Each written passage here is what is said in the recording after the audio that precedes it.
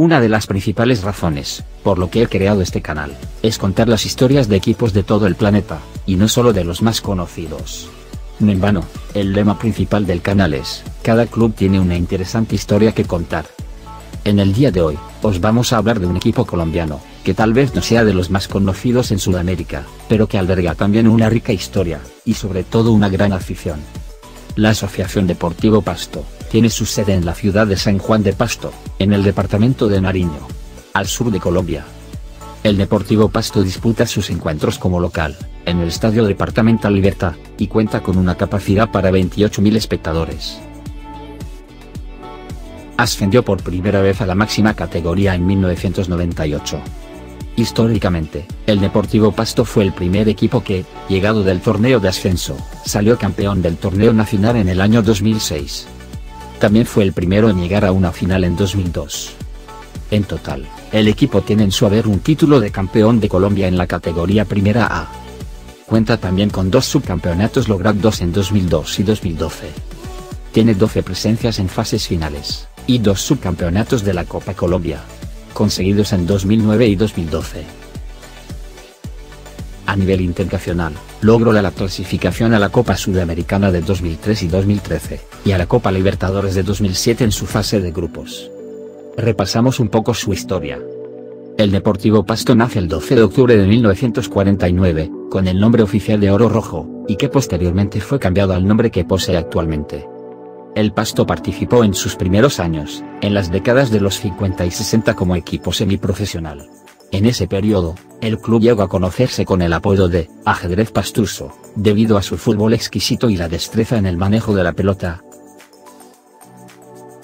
En la década de los 90 logran el ascenso a la categoría Primera C. Consigue su primer ascenso en 1998 a la máxima división de Colombia, después de quedar campeón en la Serie B del Campeonato Colombiano. En el torneo finalización 2002, bajo la orientación del técnico Néstor Otero, el Pasto perdió la finalísima ante Independiente Medellín, quedando subcampeón de Colombia. La tan anhelada primera estrella del Deportivo Pasto. Llegó en el torneo Apertura de 2006. El equipo se clasificó octavo en la fase de todos contra todos con 27 puntos, por lo cual no fue candidato para llevarse la corona. Pero luego, en el cuadrangular B, terminó primero con 13 puntos, ganando el grupo donde enfrentó al Cúcuta Deportivo, y a dos históricos del fútbol colombiano, Atlético Nacional y Millonarios. En la final superó a Deportivo Cali, 2 a 1 en el resultado global. El premio fue poder disputar por primera vez en 2007, la Copa de Libertadores. Deportivo Pasto quedó cuadrado en un grupo compuesto por el Defensor Sporting de Uruguay, el Gimnasia y Esgrima de La Plata, y el histórico Santos de Brasil. En 2009, se convierte en subcampeón de la Copa de Colombia, al perder la final ante el Independiente de Santa Fe. Como nota negativa, ese mismo año no pueden evitar el descenso a la categoría B.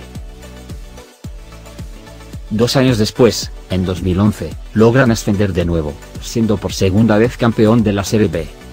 2012 se convierte en un gran año por doble motivo. Logra ser subcampeón en la liga, al perder la finalísima ante el Deportes Tolima.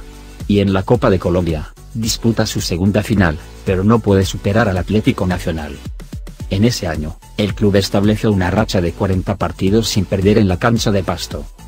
Un año más tarde, en 2013, logra llegar hasta los octavos de final en la Copa Sudamericana, donde cae ante el Ponte Preta de Brasil. En la actualidad se está trabajando en la remodelación del estadio, para adecuarlo a los estándares que pide la FIFA, y para poder acoger eventos internacionales en un futuro. ¿Te ha gustado el video? ¿Quieres saber más de otros equipos? Entonces no lo pienses más, y suscríbete al canal de YouTube de Clubes del Mundo. Publicamos actualizaciones constantes de videos y fichas de equipos de todo el planeta.